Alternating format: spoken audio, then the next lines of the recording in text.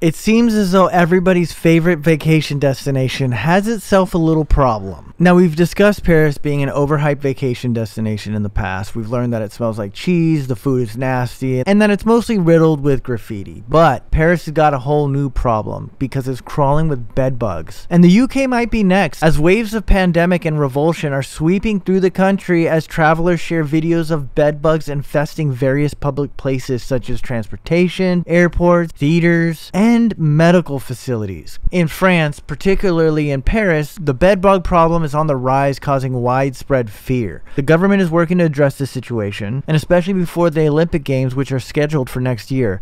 And allegedly, the bedbug epidemic is expanding because these pests are developing an immunity to common used insecticides. But now they're even on the metro, and people are afraid to use the seats due to concerns of sitting on the seats and then being infected with these pests. Well, it looks like we might have to throw Paris away for good this time, just like you would an old.